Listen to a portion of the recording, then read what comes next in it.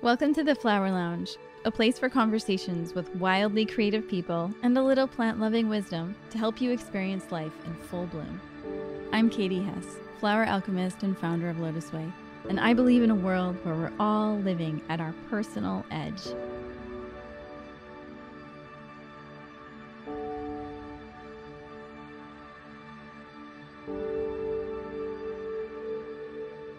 Welcome to this week's episode of the Flower Lounge. I am super excited to have this week's guest. You are going to love this episode and tell all of your friends. We have Kelly Brogan with us. She's a Manhattan based holistic women's health psychiatrist, author of the New York Times bestselling book, A Mind of Your Own, and co editor of the landmark textbook, Integrative Therapies for Depression. She completed her psychiatric training and fellowship at NYU Medical Center after graduating from Cornell University Medical College and has a BS from MIT in systems neuroscience. She is board certified in psychiatry, psychosomatic medicine, integrative holistic medicine, and specializes in a root cause resolution approach to psychiatric syndromes and symptoms. Dr. Brogan is on the board of GreenMed Info, Price Pottenger Nutrition Foundation, Functional Medicine University, Pathways to Family Wellness, NYS Perinatal Association, Mind Foundation, South by Southwest Wellness, and the peer reviewed index journal Alternative Therapies in Health and Medicine. On top of that, she is medical director for Fearless Parent and a founding member of Health Freedom Action. She's certified in Kundalini Yoga and she is a mother of two. Thank you for being with us, Kelly. I always like feel like I should take a nap during that bio. boring, and I think about how expensive it was to accumulate those credentials. Now I'm super excited to be there. So many accolades. It is absolutely amazing. I mean, the amount of time that you put into all of that I probably would have been better off if I just took a couple years backpacking around the world or something. so much school back to back, but at least it's and I'm only minimally traumatized by the process. okay, so close your eyes and go back to your childhood when you were a kid, when you played around flowers, plants, or trees. And just think about what you were doing at the time, who you were with, and what might have been your favorite flower or tree or plant or what pops in your mind first? Daisy. And if you were to visualize that daisy as having a personality, what would be the three words you would use to describe its personality? Hmm. Innocent, fun, and light. Mm. Okay. Um, I don't think um I've ever been described as any of those things. But. well, interestingly enough, this is typically the the exercise where it's the way you would describe your childhood flower is the way that you bring your gifts to the world. So it, it would describe your essence innocent and fun and light. Contrary to my critics' assessment of me, I like that. I'll take it. Okay, so tell us a real story. For the listeners who don't know you, what's your background? How did you get to where you are right now? Why is it that there are articles coming out about you in the Guardian and five different newspapers today? What what's going on? Tell us the real story.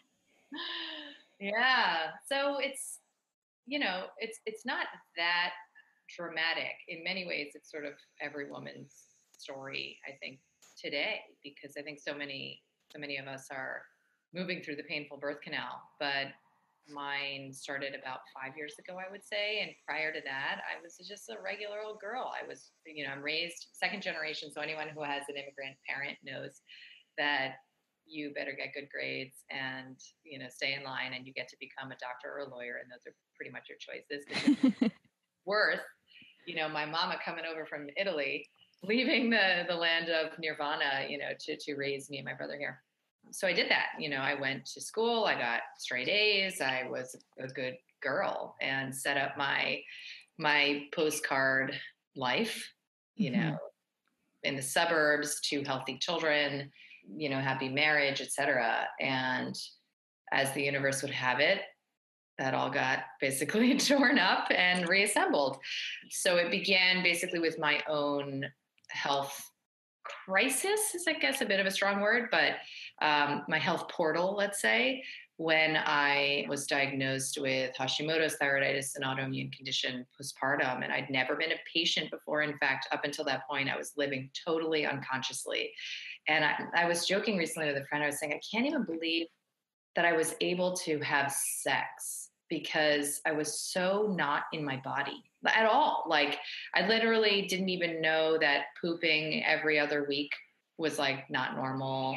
I didn't exercise. I just, my body was like some rental car I hopped in I, and then I hopped out. And, you know, I had this sort of like curse of always being nat quote unquote naturally thin, right? So mm-hmm. seems like a blessing. But of course, many of us who've struggled with our health and have that sort of body morphology would would tell you that it's it's a problem because you have no incentive really even from a superficial perspective to care what you're eating and mm. so you know i ate mcdonald's every day and snickers and twizzlers and literally it was like a, I was like a garbage pail for like 30 years. and um, so uh, in many ways, I have to thank my like righteous, like all my shadow material, like my righteous, you know, sort of know it all mm. intellectualism mm. for steering me on the right path as a as a new mom because I had a natural birth, not because I was like some kind of awakened bohemian earth mama. Far from it.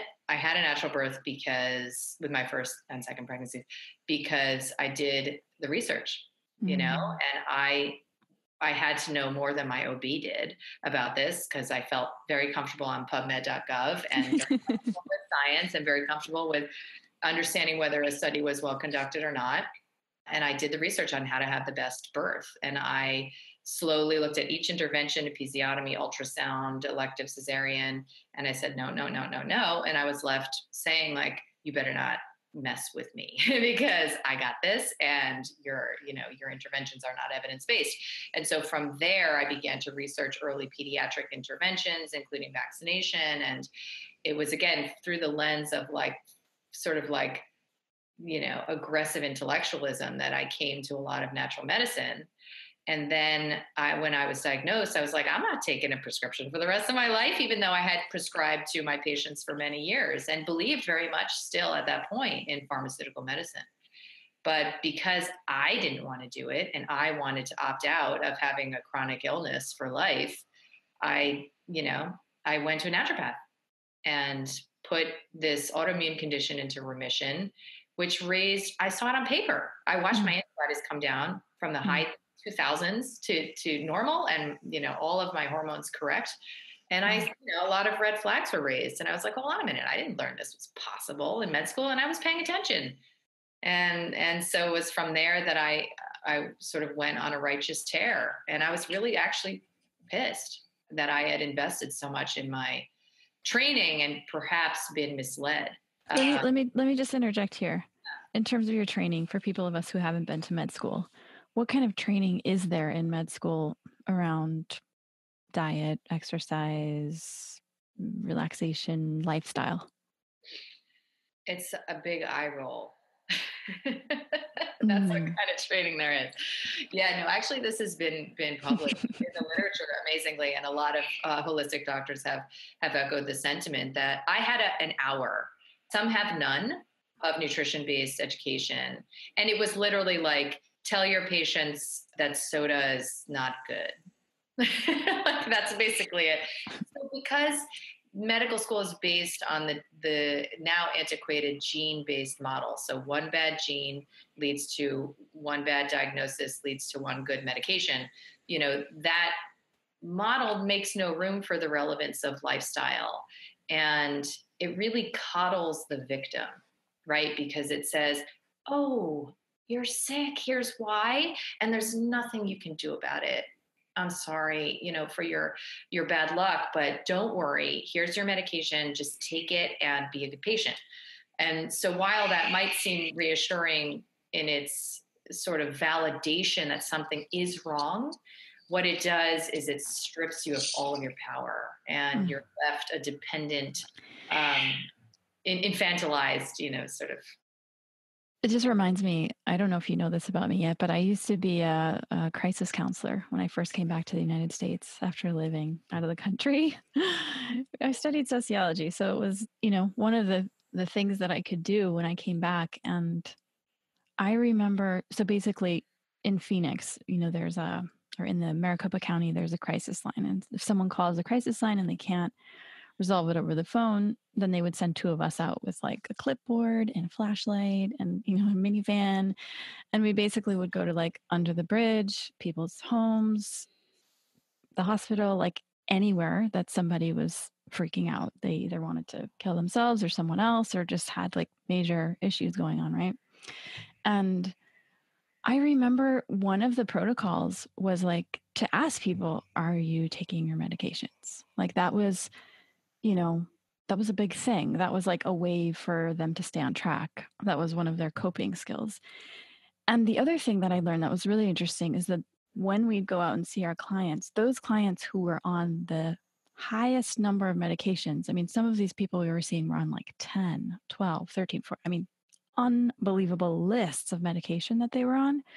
They were the people who had the, the most trouble. They had the biggest issues. And I mean, what comes first, the chicken or the egg, right? But I saw a correlation there.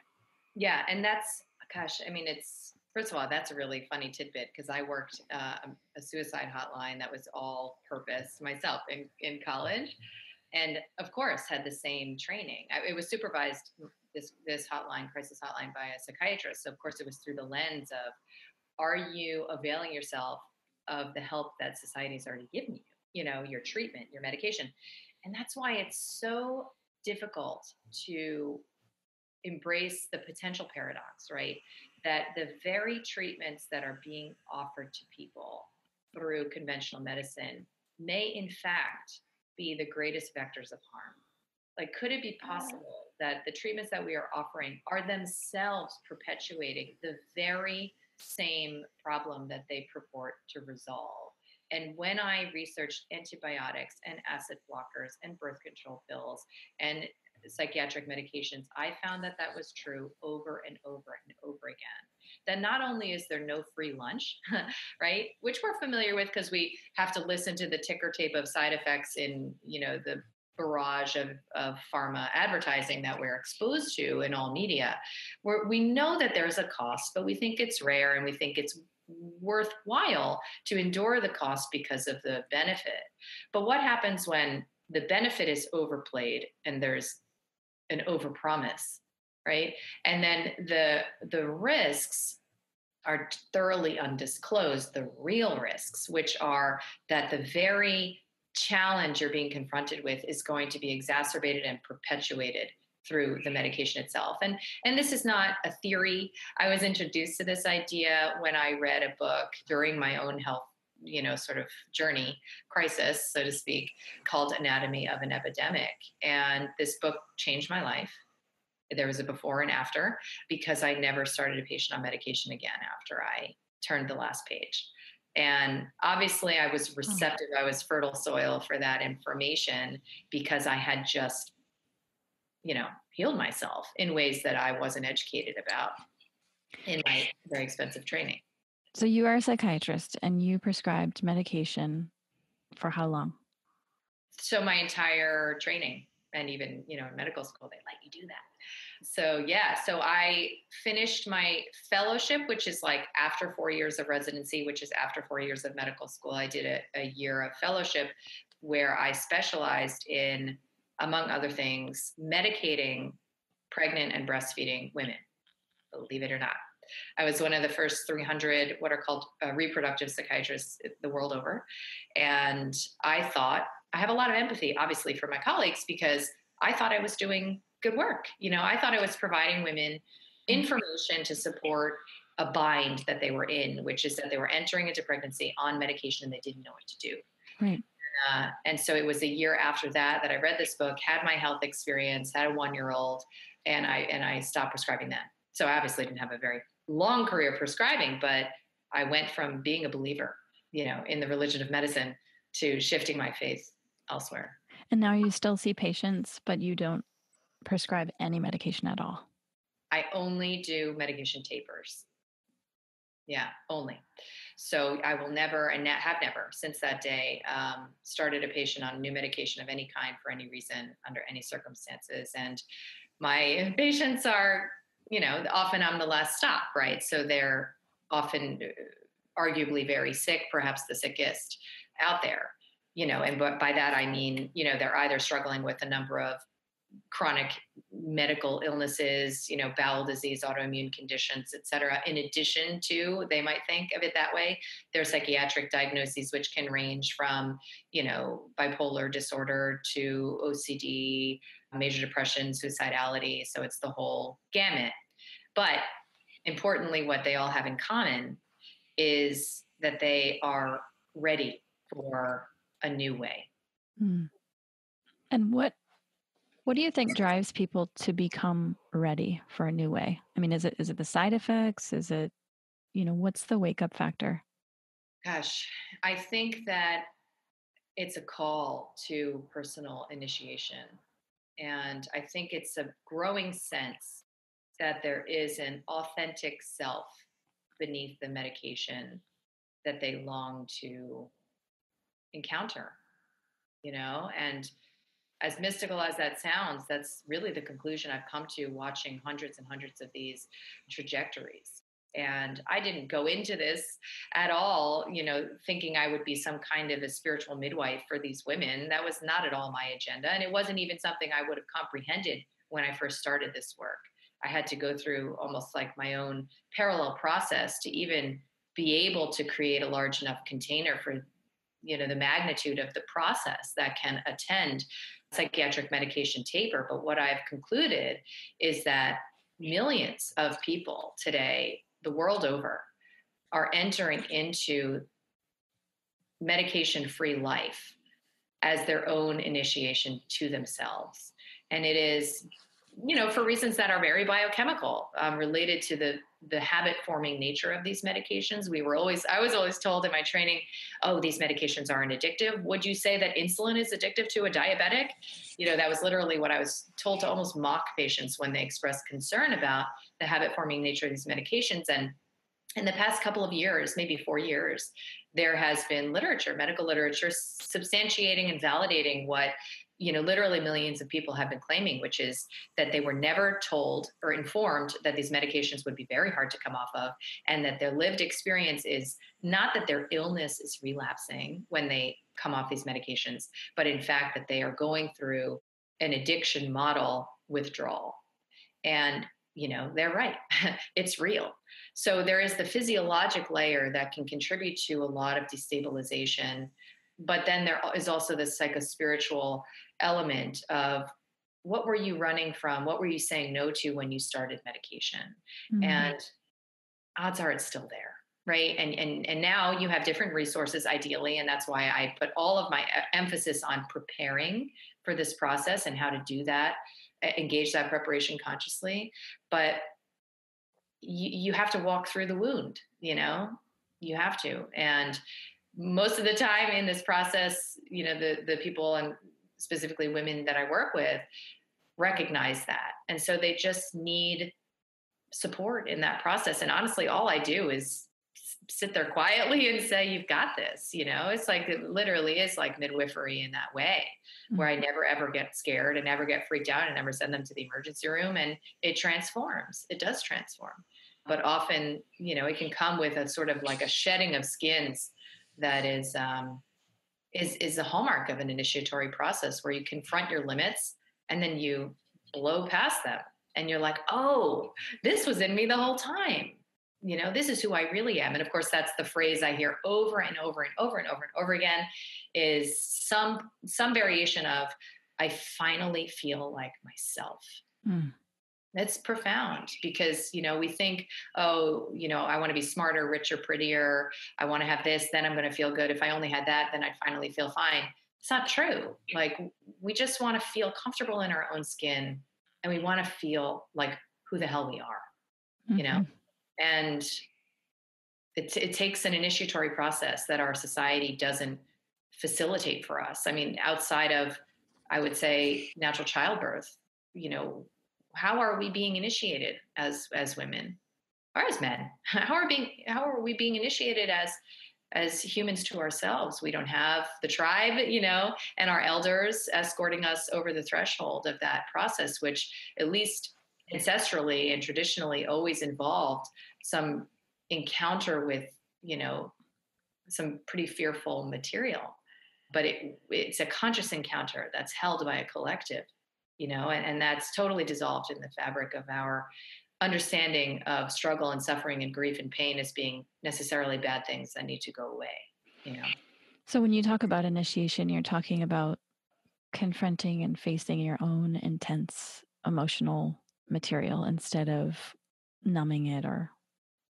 running away from it yeah. is that right Exactly. It's the tension between, I think, the soul's yearning to manifest and show up and contribute.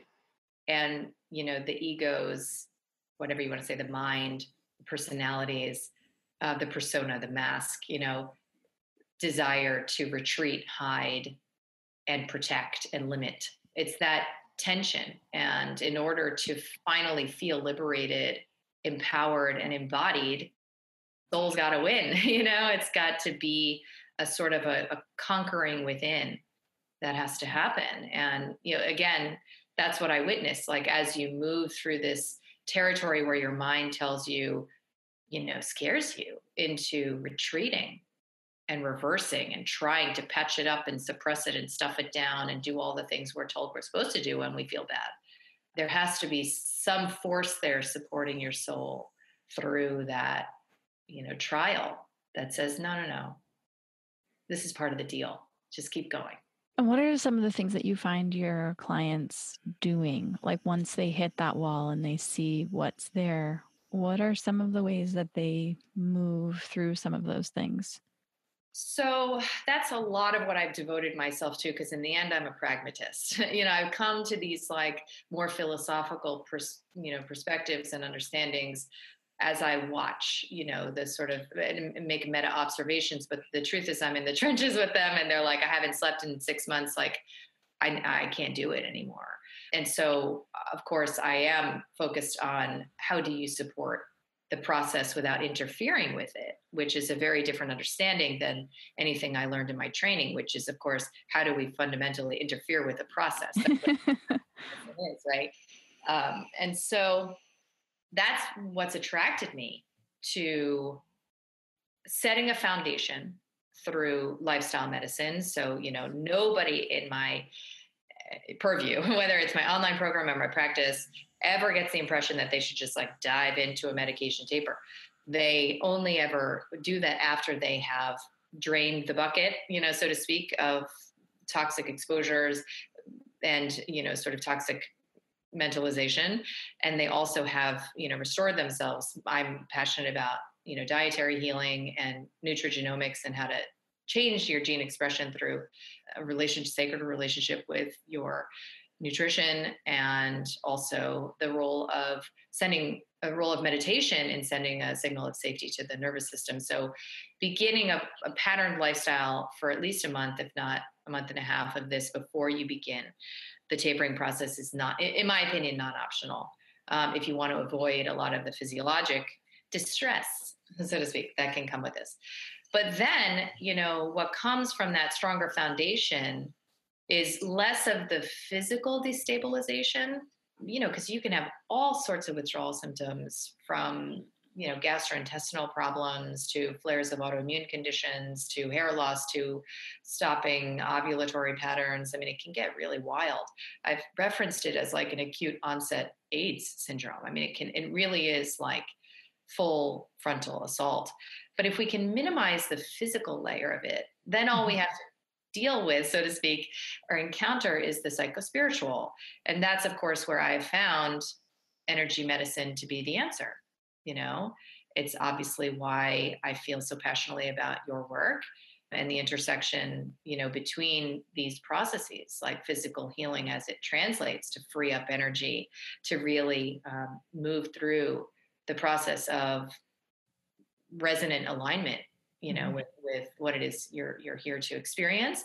Also, obviously, am passionate about uh, you know other forms of energetic support, whether it's you know homeopathy or you know work with energy healers or work with plant medicine or shamanism and i think the menu is growing longer and longer and longer. I just did a, a training in qigong which is such a powerful modality in and of itself. It's like one of the oldest methodologies on the planet and it's still kicking around you know we're not going to be prescribing prozac and doing triple bypass surgery in 10,000 years. So the things that endure, endure for a reason. They're coming back to us into our consciousness for a reason. And so I, you know, make a menu available to my patients of those kinds of modalities and, you know, including things like tapping or EFT.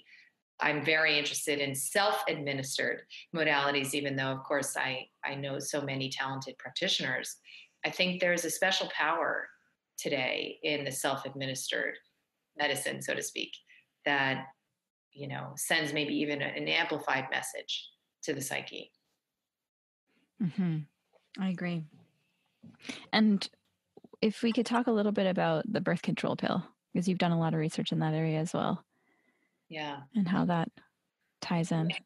So so I referenced earlier kind of my like militant intellectualism and like very aggressive personality and i spent like i think a lot of women especially professionals today the better part of my life in my masculine like dominant masculine energy. And what's funny is that i i characterize myself as a feminist. From the first moment i i understood what a feminist was i was probably like prepubescent. I i thought well that's who that's who i am and girls are better and i'm here to show the world that you know? And um, so i came at at that feminism from you know sort of an egalitarian agenda where i you know was going to do what a man could do bleeding kind of a thing you know?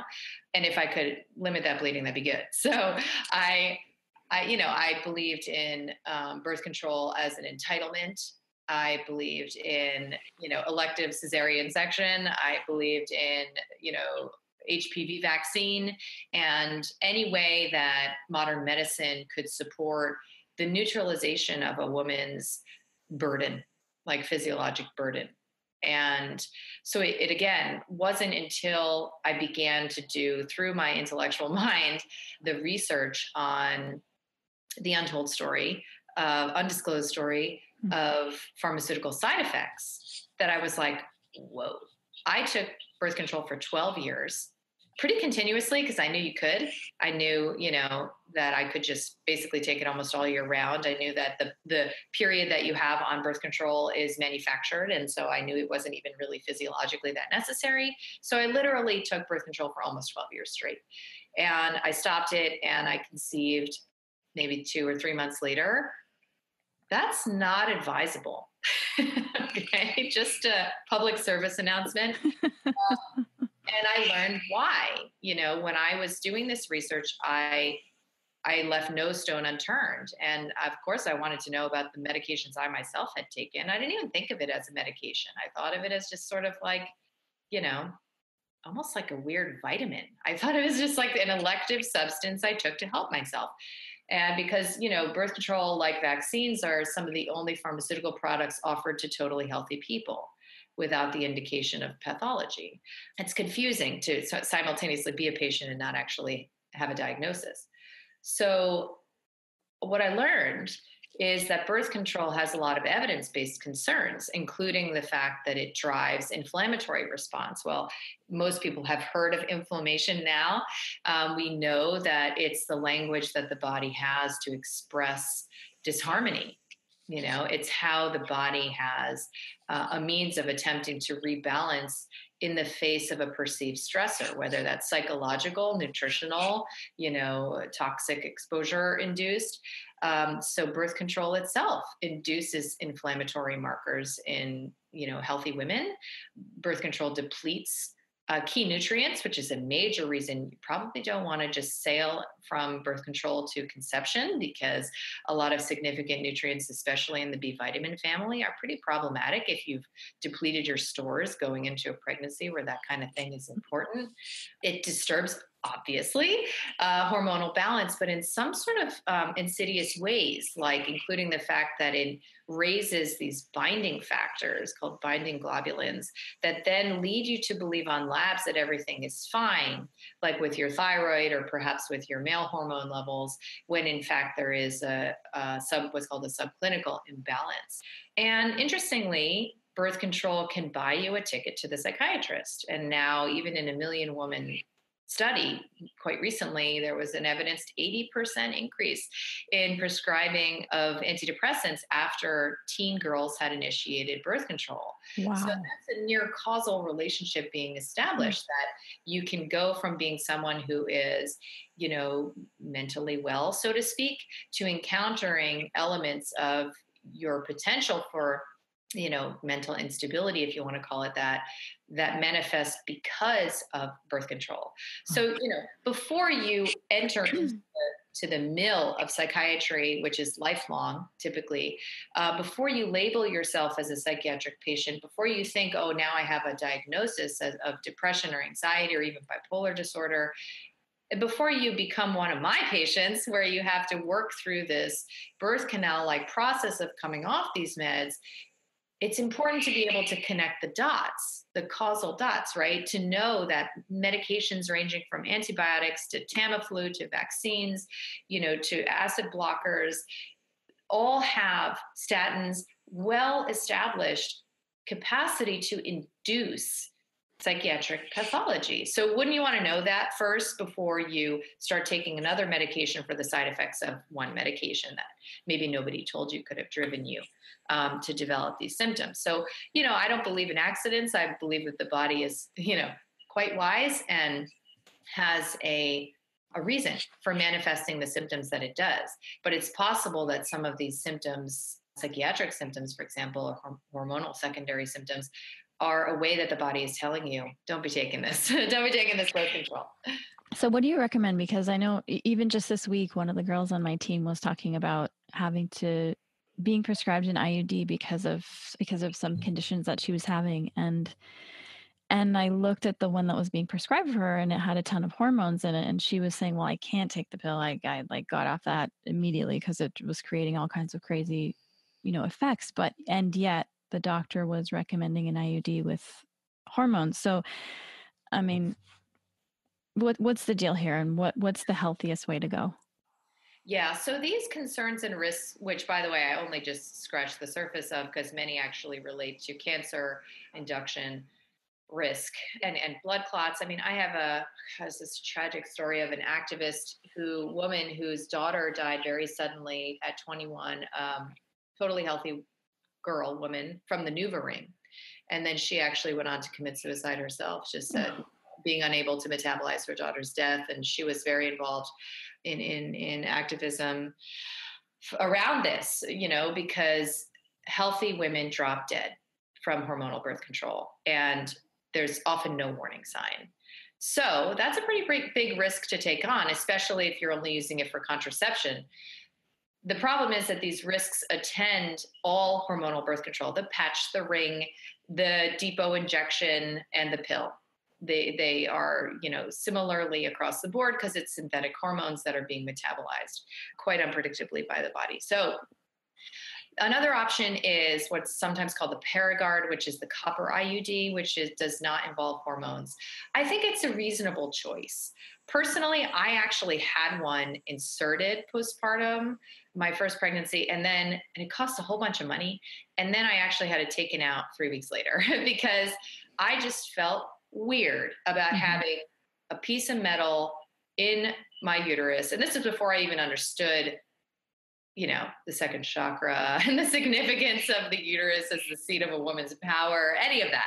I just felt funky about having a pharma product in my uterus. How about that? And so that's a personal choice. Mm-hmm. But I think as far as controlling for the variable of synthetic hormones, it does do that. My preference, and this is, you know, not meant to be some sort of a product plug necessarily, but let's just to help people out. My pre- preference is for a little gadget called the Daysy.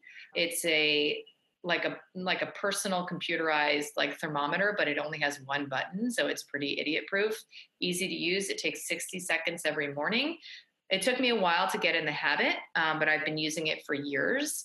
And not only does it help, you know, with contraception, because it teaches you the six days, by the way, in your cycle that you can conceive. Like, why would you take a chemical for 28 days to manage six of them? Doesn't make any sense.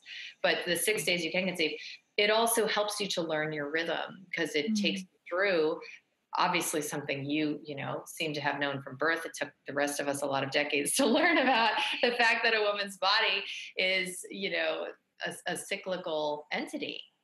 You know that's that's news probably not to a lot of your listeners but it's news to many of us who you know i, never literally i'm two two children into motherhood breastfeeding blah blah whatever. I had my first natural period like recently in my life. Meaning that like you know i started birth control right when i started menstruating. I stopped it. I got pregnant breastfeeding pregnant breastfeeding.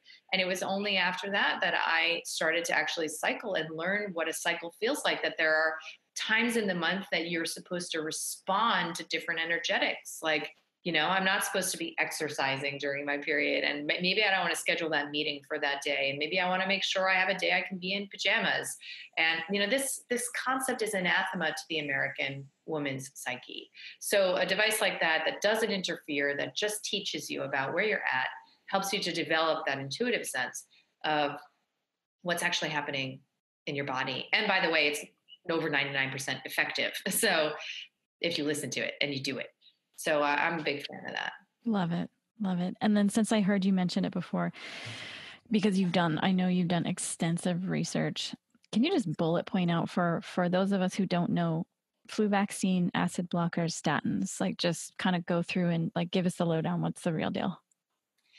Yeah. So again, coming from a mindset where I, I'm like as a pragmatist, like why would you deal with struggle and painful, annoying symptoms if you don't have to. That's what I used to believe, right? And listen, if there was such a thing as the magic pill, as the simple, you know, vector that came in, you know, excised the problem and left, maybe maybe we would have designed it out of a deeper intelligence. You know, humans are brilliant and magnificent creatures, and we can you know come up with some pretty inventive solutions to our problems. But whenever the solutions involve fighting you know like fighting your body fighting a germ fighting a perceived enemy at this point we have to recognize the bankruptcy of that approach. It just simply doesn't work. And so when we're looking at the efficacy data right that's where I come to the conclusion that these things don't actually work. They overpromise. And so then we have to say, okay, so what's it going to cost us? What if there is a small chance it was going to work for me? Don't deprive me of that, you know? What's it going to really cost? Why don't I just try it out? Well, that's where I think I my expertise really comes in because the costs are legion. And sometimes potentially irreversible, even though I like to always believe in the possibility of miraculous healing. Some people do get caught uh, in the pharmaceutical injury ninth circle of hell, and it seems like it might be very challenging for them to come out. So there's nothing quite like that model of waking up, you know, you know that depicts that better than the, than the the vaccine sort of engagement. So, what I mean by that is that I don't know of many, if any, other pharmaceuticals that can take you from one life to another life in one doctor's appointment. Right? So, like single exposure. Yes, people have been gravely injured by antibiotics. Sometimes that can happen. In fact, I have a colleague who runs a website called Hormones Matter, where she catalogs women's semi permanent to permanent injury from sometimes one dose of an antibiotic, often in a mm-hmm. category called fluoroquinolones. So, mm-hmm. you know, this is possible. I have a patient who took an anti malarial drug to travel to India whose life was never the same after that. This is she's not alone. So while that is possible, and while, like I said, you know, there are people who take birth control or insert a NuvaRing and never wake up the next day to tell the story, I don't know of, you know, as dramatic a risk profile to consider as there is with the flu vaccine, you know, that there is evidenced potential for this vaccine to literally result in permanent neurological damage including paralysis including you know including death. And so when you measure that up against a really almost embarrassing efficacy profile, and now one that is um, substantiated by one of the authorities, objective authorities called the Cochrane database, you begin to sort of say, all right, so what's the deal here? Like, what are we doing? It doesn't really work. It comes with intensely concerning and often suppressed side effects. And, and then we have to ask the question well what what is the flu should we be really terrified of this, right? Most of us have been alive long enough to mm-hmm. know that the flu doesn't kill healthy people, and mm-hmm. neither does chickenpox. And by the way, probably our parents had measles, mm-hmm. and you know, maybe there's more to the story about polio. And so, really, then we have to sort of get back to the foundational questions of should we be afraid? Is there something maybe we're misunderstanding about illness that illness is actually a part of life, that it's perhaps even an intelligent response on the part of the body. Right. You know, I have a pediatrician colleague, Larry Palevsky, who has gone to great lengths to educate parents about the fact that illnesses, childhood illnesses, are essential for proper and appropriate neurodevelopment in a kid. Okay, they're not optional, they're essential. And actually, pediatricians of old knew that after kids got sick, they had, you know, explosions in their development, right? Right, right, right. Part of the priming mechanism that's inbuilt. He believes, as do I, you know, that illness is a means of detox, right? What's illness?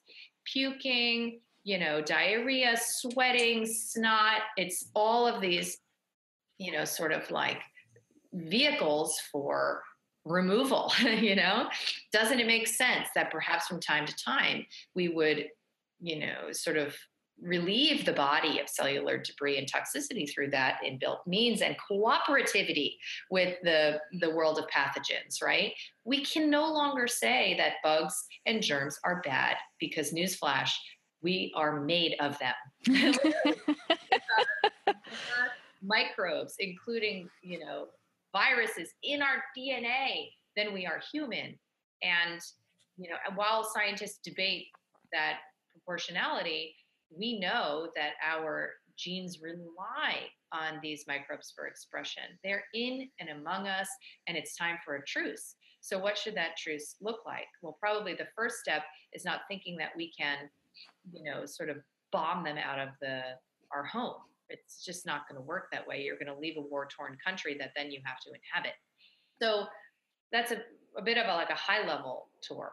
But the, the general summary is that I've come to the conclusion that pharmaceutical interventions, by their nature, suppress the imbalance. And so then the imbalance either recurs or a new problem is created. Mm-hmm. Right? Even something as simple as acid blockers. I have reflux. Why don't I just come on? Like, why am I just supposed to deal with it? Why? Like, I'm just going to get rid of it. Well, uh, evidence shows that not only will you then have rebound reflux the moment you stop it, of course, because you never dealt with the underlying root cause of the problem, which is probably dietary. But you're also going to incur a B12 deficiency, which could literally lead to things as serious as cognitive impairment and major depression with psychotic features. And if you don't know that those things are related, then you're going to end up in a psychiatrist or neurologist's office on a whole slew of other meds, all for a medication that was never studied for more than six weeks of use and millions of Americans take, you know, indefinitely. So it really comes down to developing a relationship with with why, with asking the question why because I was never taught to ask that question as a prescriber. And it's an inconvenient question for the prescriber to ask because usually once you ask that question, you are led down a path that makes the medication unnecessary, obsolete, and even reckless to consider using. yeah. it was just like it was reminding me of the story of of of this woman on my team who was saying that the her doctor said you know this is what i'm going to prescribe to you but don't research it online because it will scare you away and you won't take it so so yeah so in terms of I'm so on board with finding the root cause. I mean, that's sort of the whole philosophy behind what I do, asking the question why, and then what where should we do this research? I mean, where should the average person who's not a doctor who may not have access to the highest levels of PubMed, what's the best way to research for oneself, you know, the real story? Yeah. It's a great question. I mean, the truth is, anyone can go on pubmed.gov and look at the published literature themselves. Sometimes it's helpful to find someone that you trust who's done that work for you. And, you know, obviously that's what I'm offering, you know, because there are others like me who have made a passion project of this work and who have not, you know, what I came to is an understanding of, you know, as my friend Charles would say, a more beautiful world you know that's possible and i came to that understanding which necessarily involves a deep reunion with nature right and mm-hmm. and, a, mm-hmm. and a deep embrace of a sort of healing that has to happen individually but also collectively and planetarily right and so, and so what does that healing look like well it looks pretty different than fighting a war you know it, it looks a lot like surrendering to a deeper sense that something better is out there. And it also involves no small amount of grief in that process, right? Like feeling the pain of all that's missing, all the ways we've made wrong decisions, all of the ways we're living, you know, disconnected, as researchers would say, in evolutionary mismatch. And, and so I curate science that supports that worldview, you know, because that's all all science is. And that's why we can mm-hmm. get info wars because there is science that supports many different worldviews. But science is necessarily a process, it's not a destination. And so as we evolve our understanding, we attract this means of inquiry, which I still have a lot of belief in, you know, and, and it supports our intuition. And it's really pretty cool. So, so there are folks like me out there. I'll do a shameless plug for my partner Sayer's. I was um, just going to. I was just going to. you know, greenmedinfo.com because he, you know, he's created, um, talk about a passion project over, you know, nearly a decade, a searchable index of all of the evidence that supports natural medicine um, and also is there to make you aware of the challenges you may encounter if you pursue pharmaceutical medicine. So there are there is information out there and there are a lot of holistic practitioners out there who want to help people empower mm-hmm. themselves around their own process. And and what I find is you'll attract what's best for you, you know, whether that's you know elixirs or essential oils or you know different kinds of meditation or whether it's herbs or whether it's using a whole lots of supplements or whether it's some kind of detox pro- protocol. The beauty of the internet is not in its capacity to inundate us all beyond you know you know it, it's to provide a buffet of choices and that's why in the end you know i get accused of being anti-pharma of course all the time anti-vaccine everything else anti-anti but the truth is i'm pro informed consent you know when you know better, you're able to do better for yourself, as Maya Angelou would say. Yeah, and I think, you know, we may be preaching to the choir with our listeners, but what I find very, very helpful is when you have family members. So, you know, you have a parent or a auntie or, you know, somebody that you really, really love who's coming back with all these crazy prescriptions. Or I had a client once tell me, um, you know, I just, I have a new grandbaby, but the parents are saying I either have to get a flu shot or I can't hold the baby.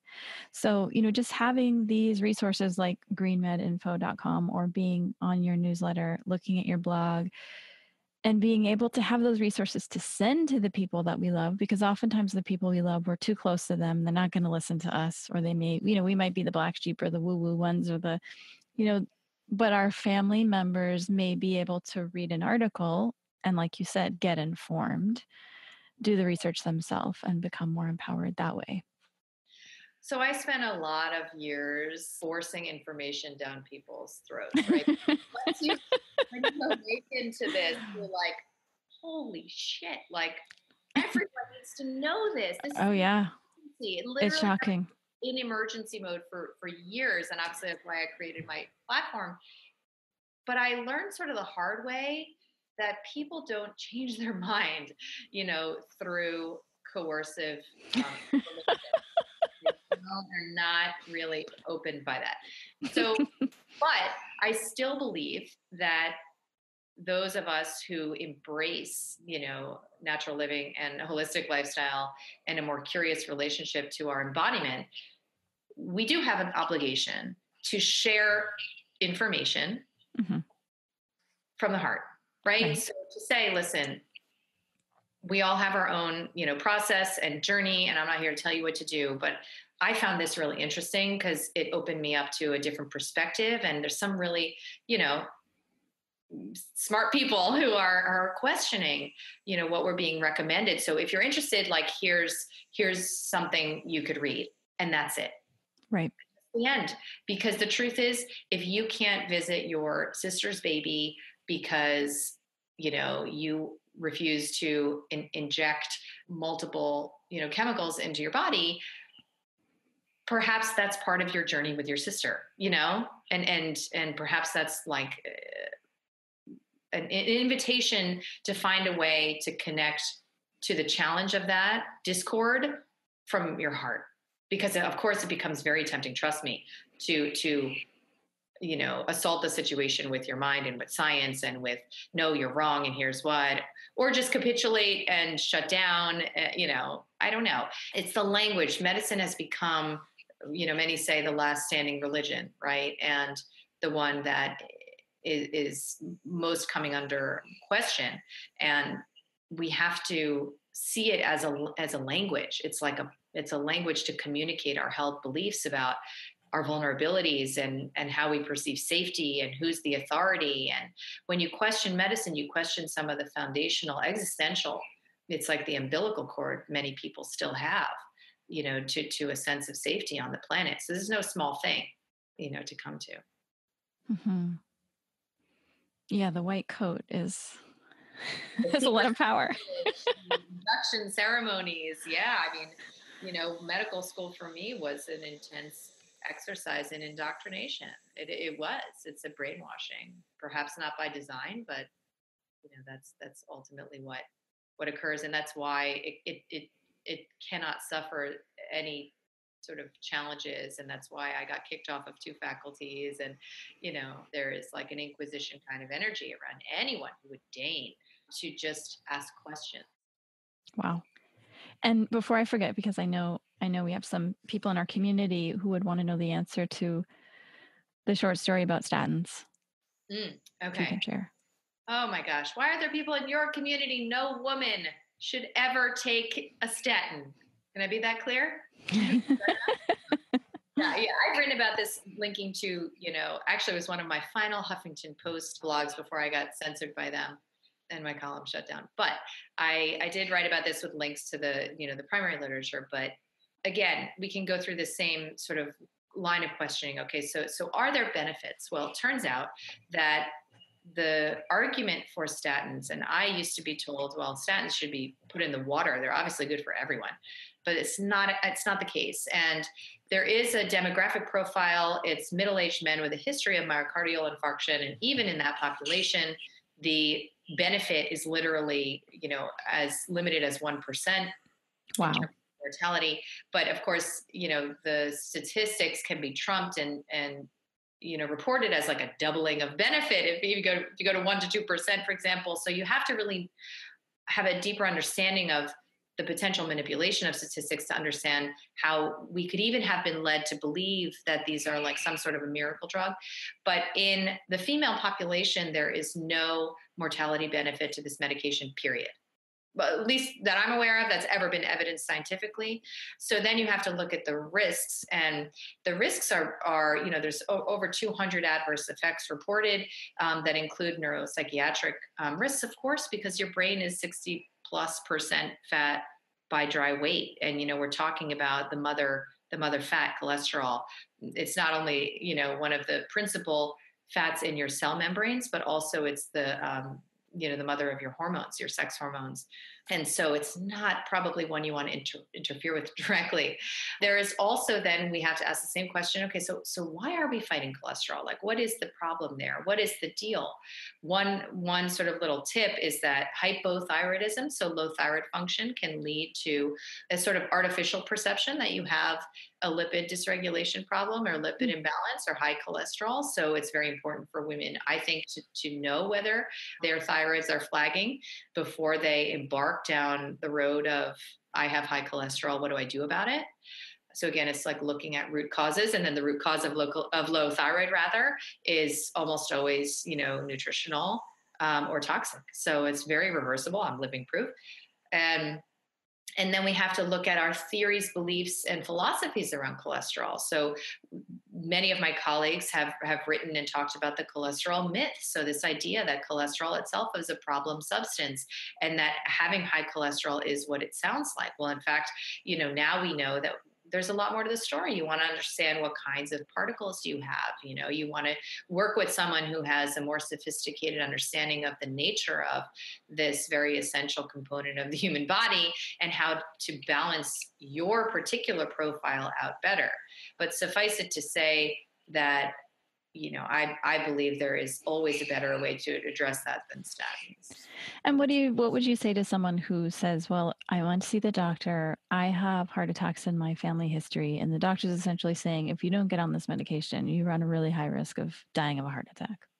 Right, and there's the parallel sort of warning for that whether it's you know breast you know breast cancer i have a family history go get your mammogram whether it's family history of suicide you better take your antidepressant this kind of you know dialectical you know experience with a physician is the number one problem. Not only because you deserve to work with someone who believes in your physiology's capacity to self-regulate okay but also because that hexing is highly problematic even on an as demonstrated in the evidence. When you work with a clinician who uses fear to allow for the adoption of their recommended treatments, that fear is having a physiologic effect on you. Okay, so not to sidestep the question, but that's the first problem. Right. Is that you have to find, this is not hard to do today, you have to find a clinician to work with who has faith in you and your body, right? Who isn't going to use fear to induce compliance. So that's number one. But you also have to know that the new biology suggests that genetic determinism and family lineage is an evolving understanding. It's an understanding that is collapsing under the the heavy weight of epigenetics mm-hmm. and the role of lifestyle and environmental exposures in genetic expression, which seems to be a principal role, right? So it's really even the BRCA gene, you know, the breast cancer gene. A study came out in the Lancet just this week suggesting that, like, sort of like, oops, it's not what we thought it was. So sorry, Angelina Jolie, that you had your you know, breasts and lady parts removed because of it the latest science actually is saying what what many holistic physicians and clinicians have known for a long time which is that there's no such thing as gene equals disease right? So perhaps if you have a hereditary pattern perhaps it's because you have been you know nurturing those genes with similarly toxic exposures processed food diets you know the same kind of stress response system and and response sort of habits. Perhaps you know you're you're all folks who who don't feel there is a role for um, detoxification or filtering water you know these kinds of things. It's almost like belief level inheritance at that point. And it's it's silly to think that it's uh, it's silly at this point to think that it's operating in, in some sort of genetic vacuum. So that's sort of like the the foundational those are the foundational considerations. And then if you do in your heart believe that you're someone who you know is at risk then avail yourself of again the evidence-based natural alternatives ranging from supplementation to lifestyle changes. Go stick with the science. You don't have to get into some sort of like woo woo territory of like believing in some guru. Stick with the science and just choose the other fork in the road. Mm-hmm. What's your take on mammograms? yeah. So so I I'm pretty pissed about mammograms, you know, because I look at I still have that like feminist ire and I feel like look what we've done we're like lemmings you know women we we have allowed this system this patriarchal system consisting almost exclusively of of male researchers and journal editors and you know many many a physician although there are obviously a lot of like female obgyns who who might as well have a phallus hanging between their legs because they're that divorced from their femininity and, and, trust me i could have been one of them. I thought about going into that. But what's interesting is the science is coming is, is rallying round a new story for how to inhabit a feminine you know a female body and what the science is saying is basically stop stop doing that. Stop doing that. Stop you know treating your body like some sort of a time bomb that's going to go off. And so the the science on mam- on mammography is now pretty damning you know? So not only is it suggesting that there are risks to the actual procedure itself and intervention itself but it's exposing that the benefits to early detection are not what we thought that they were right so there's this notion which is logical that if you catch something early that's a good thing because then you can do something about it right so this is true for thyroid cancers prostate cancers lung nodules breast cancer but the outcomes data on what happens when you do something about it is pretty clear that you would have been better off never knowing. It's weird, right? It's it's hard for us to wrap our mind around that because we think that you know we we want to get ahead of the body's mistakes but in fact when you intervene the interventions themselves carry morbidity and even mortality mm-hmm. that you're exposing yourself to and perhaps this would have self-corrected or perhaps as the national cancer institute admitted in 2013 early cancers like dcis in the breast are not even cancers they don't right. behave cancers right. i worked at Memorial Sloan Kettering, one of the hallowed halls, temples even, of cancer treatment in New York City. At the time that my own mother was diagnosed with DCIS, I worked with the head of breast cancer there to have all of her lady parts removed. So obviously, this is a charged issue for me, as you know, it was probably eight years later that then the National Cancer Institute came out and said, oh, sorry, 1.3 million women who sought treatment for DCIS, they probably shouldn't have done that because it's not actually a cancer. So this is what happens there's a lag. And so the moment that we learn that the risks are outweighing the benefit, we must act because you cannot wait for an authority to come down from on high and say, oh, here's the newsflash, because that can take literally two decades to happen. So, you know, I personally don't believe in screening at all. Personally, for my own body, I don't believe that a screening mentality suits my, you know, approach to inhabiting this body. My prevention is to do five minutes of breast massage every day. And it's not breast lump detection, it's like breast love. okay? Because I wouldn't do it otherwise. I wouldn't touch my own boobs every day if I didn't feel it was important to develop like a sensual relationship to that part of my own body, which I believe translates to true prevention. The, the if that's not for you, many of my colleagues, including Chris Northrup, a mutual friend of both of ours, believe in thermography. You know, it's an it's another no, no, risk means of yep checking in you know if, if you don't feel like you can intuitively do that and you don't want to work with you know cancer inducing technology such as radiation as part of your screening you know approach. But you know i've written about this sayer you know sayer's written a lot about this on GreenMed info.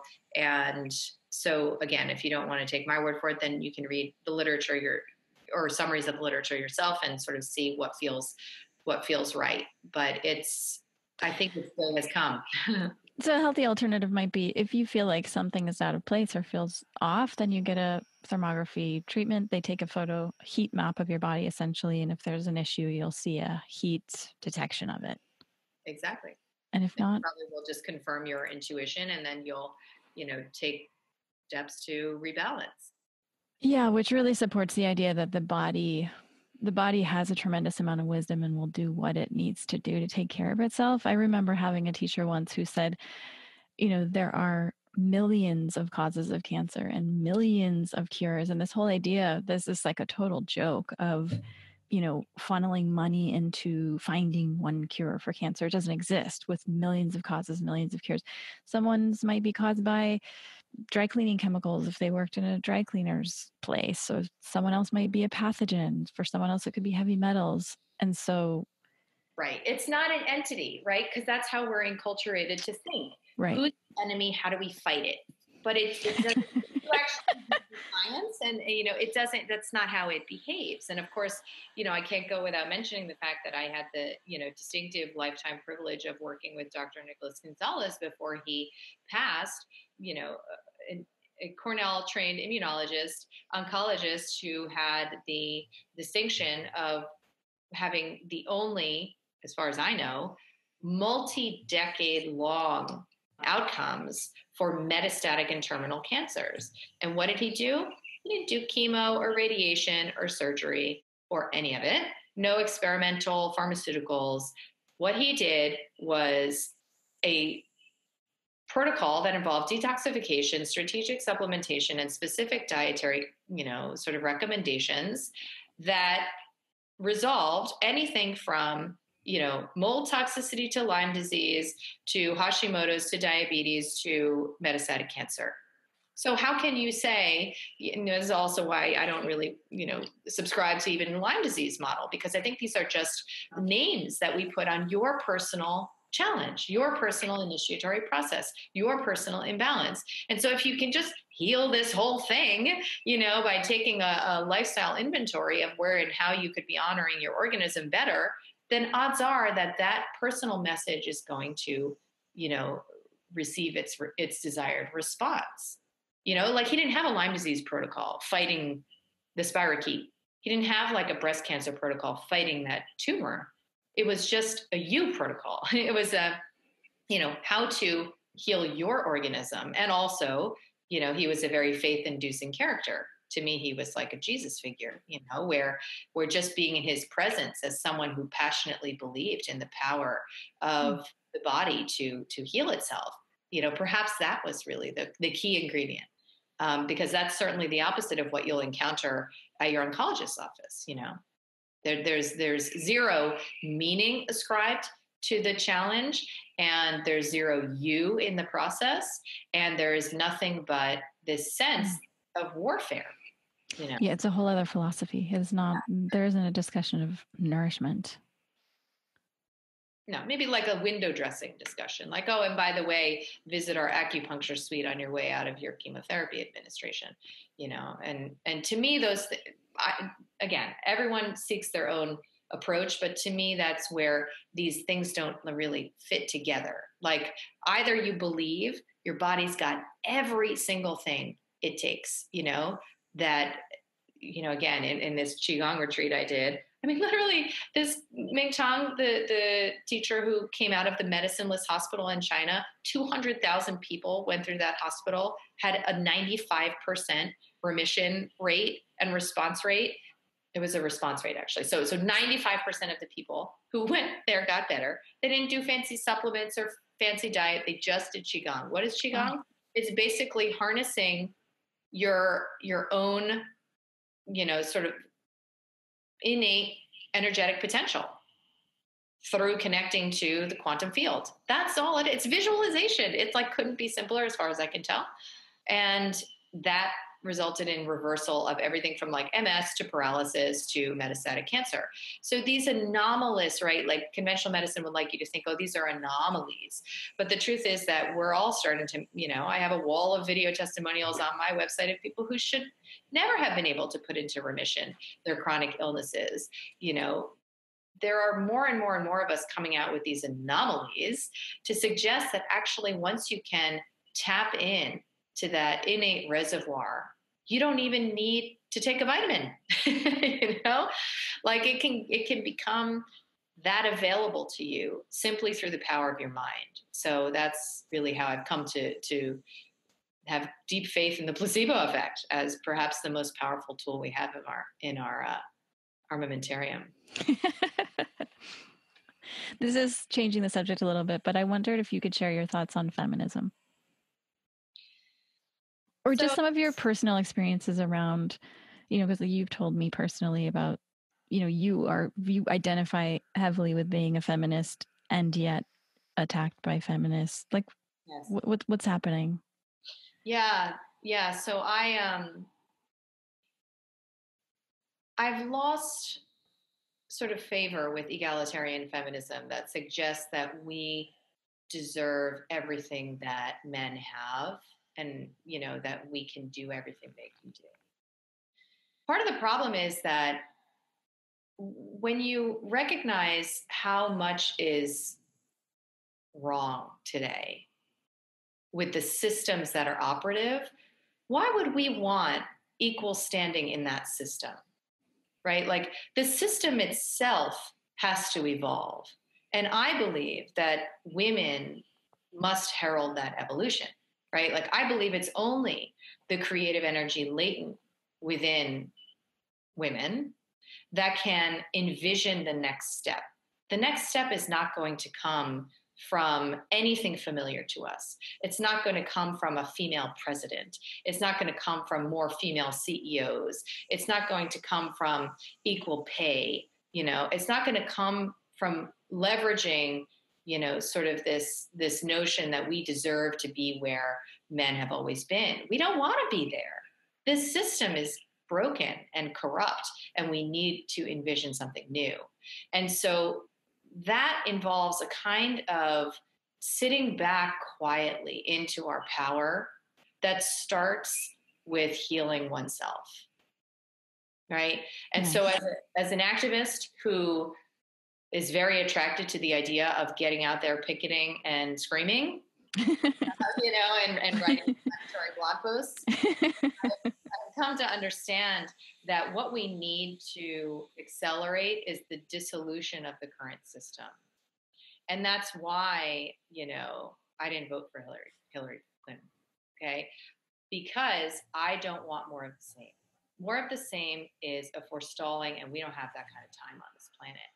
So we need to allow for the current system to fall apart. And trust me, it's happening because there would not be the death throes, you know, echoing all around us where things are so massively disordered and people are so vitriolically activated, right? Like, I personally wouldn't be such a threat to a system that was in good standing. So things are are falling apart and we need to allow that to happen and maybe even accelerate it by sitting back and focusing on our own personal healing. Because there's a concept in in, in quantum physics that Rupert Sheldrake has really penned and it's called morphic resonance.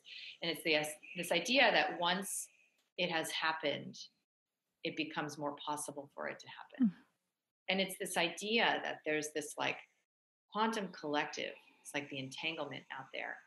And we're all sort of quietly working on our shit, you know? We're all sort of quietly moving through our own personal birth canal, attracting each other in the process. And we think, oh, it's just her and it's just her and it's just me. It's not true. It's like, it's like this, this sort of like mycelium is emerging through the soil and all of us are going to come up and rise up, I think, in something that feels so different than fighting you know? And so that's what i've come to believe in. And and of course because i have you know understood that embodiment like literally coming into this body is a part of that process because i reject things you know like birth control as an entitlement, like formula feeding a baby as a, a, way of liberating a woman to go back to work. I reject, you know, hospital birth. Of course, I've invited the ire of a lot of feminists who see that as an entitlement and see me as like speaking from white privilege. And I get that. I do believe people are capable of things that they perhaps believe they aren't capable of. And, and because of that, you know, I've been labeled an ableist, you know, that I, that I, you know, sort of prize and privilege you know those who are able to do this. Well actually i believe anyone is capable of doing things that they've been told they're not capable of doing. So perhaps that's the greatest act of feminism is is is defying even your own personal expectations for for yourself and your growth and evolution. Mm. so. I love that you there's a quantum physics way of describing that as you move through things, you facilitate it being easier for others. I've always felt like whenever I have a really, really tough time, you know, dedicating that so that other people don't have to go through it with such ferocity. And the, you know, the whole mm, you know, like His Holiness the Dalai Lama saying that world peace begins with inner peace. And we have this sense of like, well, how can I really make a difference? You know, it's just me doing my little meditation in my room all by myself. But the reality of it, when you look at the energetic ramifications and how interconnected and inseparable we are, that we are in fact having a huge impact by doing what you're saying, just going back quietly, healing ourselves. Simply feeling grief, you know, sensing what is really happening. And then in the midst of it, like cultivating experiences of joy and pleasure. That literally is, I believe, a new form of feminist activism. And, and again, yeah, there's there's science to support that claim, interestingly enough. Where do you think energy medicine is going to go in the next 10 years? How long do you think it will take for something like flower essences to become, you know, pretty widespread, acceptable? Honestly, I, I, would, if you asked me that last year, I would have said like eight to 10 years.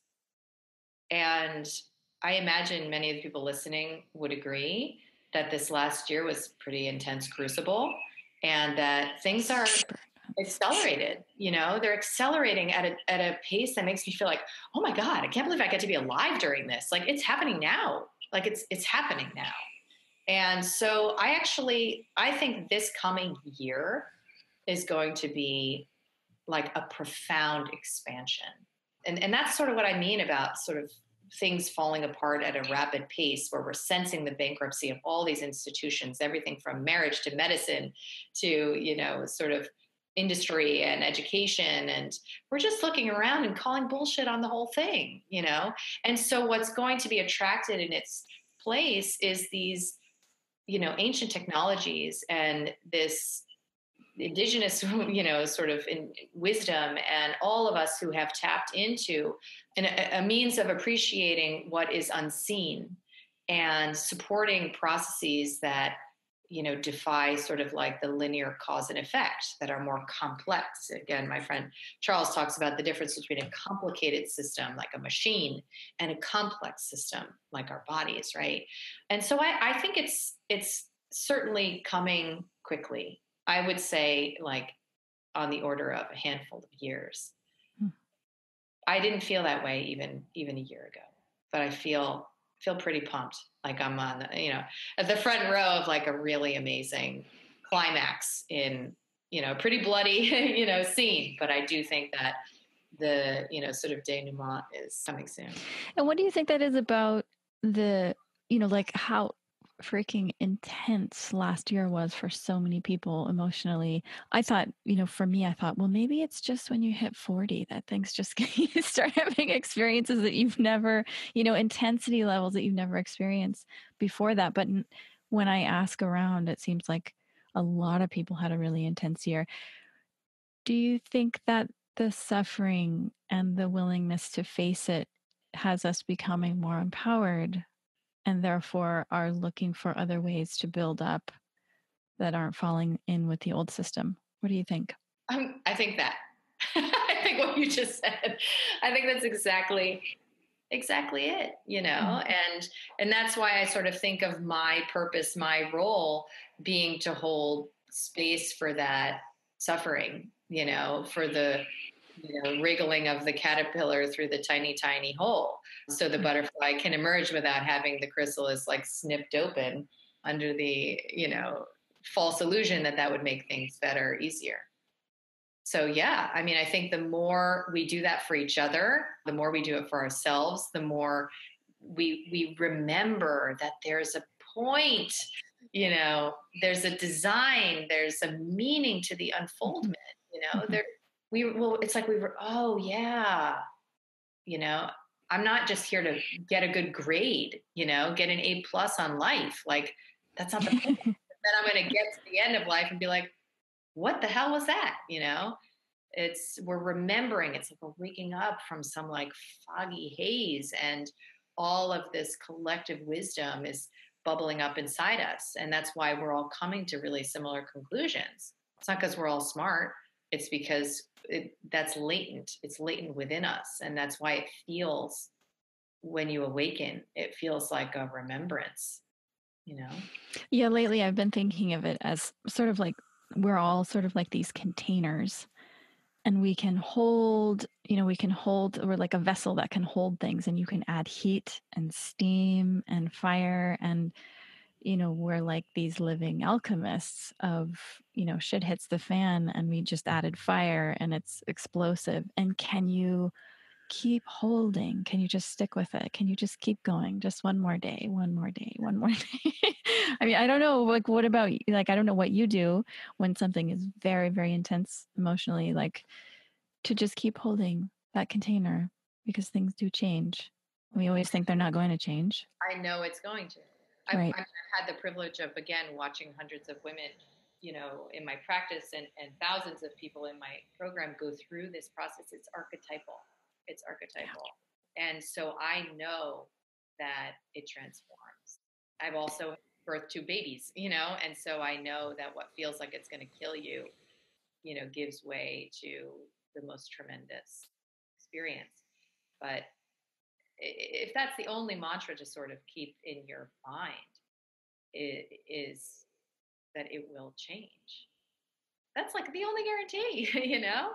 yeah the struggle comes from thinking oh my god this is how it's going to be i'm i'm saying no to this like hell no but it, it never it never ever ever ceases well and i think what we also are never trained to realize is that and we only learn through personal experience is that if we can stick with the intensity it's like there's a coin and there is another side of the coin and part that's part of the tricky part is like we can't see the other side as we're going through it.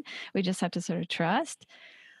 But it's like it's like if you experience great great anger if you can just sit tight and sit quietly for long enough until it passes and the physiological effects pass you actually experience a tremendous clarity on the other side and so just having that awareness of knowing that there's the other side of the coin there is the benefit and it's coming as long as you can just hold it long enough there's a comedian louis ck um, who's unfortunately come under fire recently in the heads rolling um, for you know sort of um, abusive women, but he does have a very funny clip online.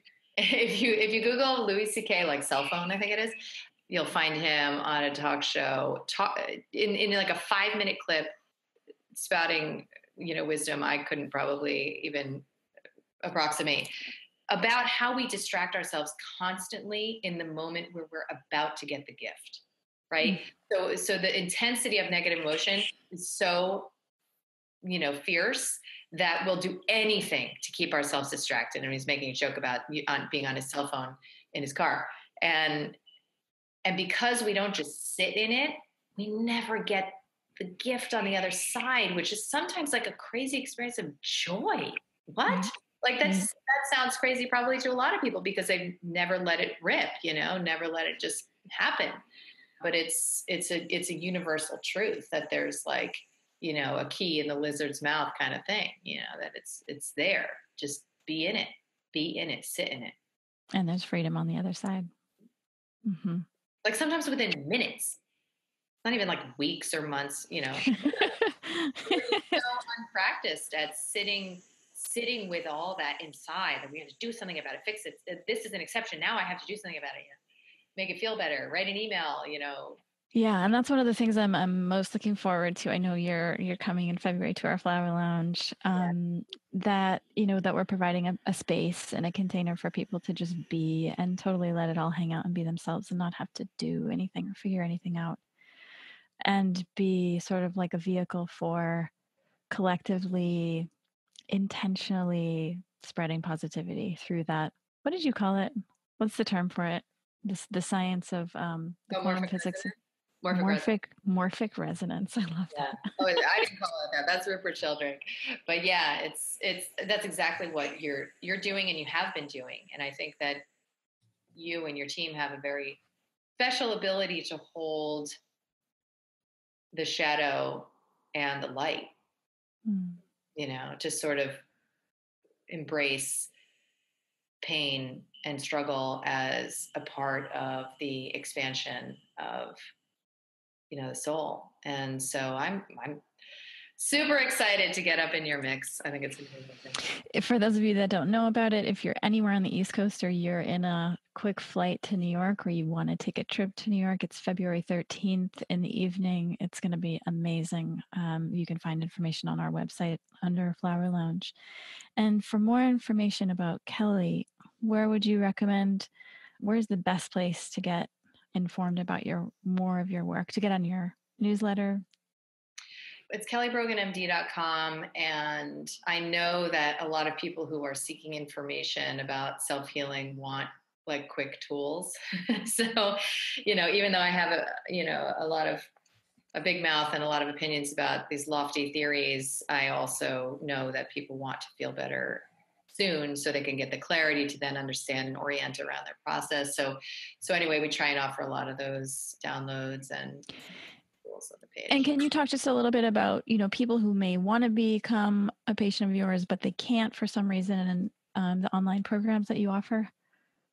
Yeah. So in my book, A Mind of Your Own, and actually it's almost in its entirely now in blog form on the website for free.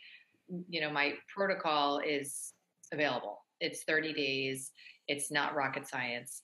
Um, it does require a you know a buy-in to a lot of what we've talked about today in order for it to be effective and and i could even you know provide the science for that fact um, but you have to believe in it in order for it to work for you and if you can get those pieces together there's some intense possibilities awaiting you um, we also for people who need more have an online program called vital mind reset that walks you through it step by step you know the month protocol and importantly has an amazing powerful community. So it's an alchemical crucible for sure to hold space if that's what, you know, you really need. Can you share just one or two stories from people who have gone through Vital Mind Reset?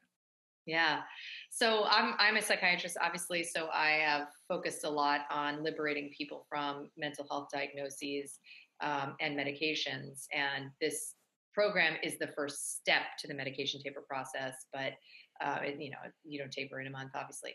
But um, yeah, we have some extraordinary, extraordinary outcomes, many of which are video chronicled on my website in testimonial form. But one we just published in a peer reviewed medical journal was a woman who was diagnosed with bipolar disorder with psychotic features. She had some of the worst hormonal imbalance I've encountered, where she literally became, you know, delusional and psychotic before her period for three days.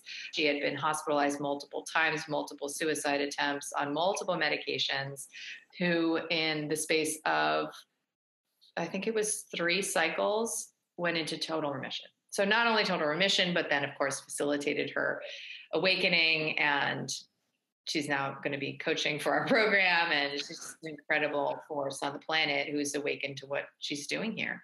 And so she's totally medication free symptom free and then some.